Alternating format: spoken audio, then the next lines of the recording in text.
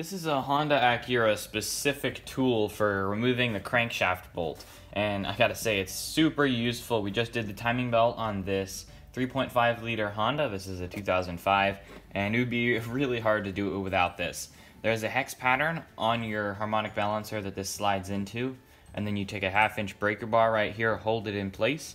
Now that bolt is really hard to get out. Especially uh, uh, in this car, it was hard. I know other people have had a lot of problems with it. Some people it comes out easier, but we had to break out some really big impact wrenches and we got it out, but I'm not sure if we would have been able to do it without this tool. Whenever I got this, I just went for the cheapest one I could find. It might have been 15 $20, which is pretty cheap, because we only really are probably going to use it once.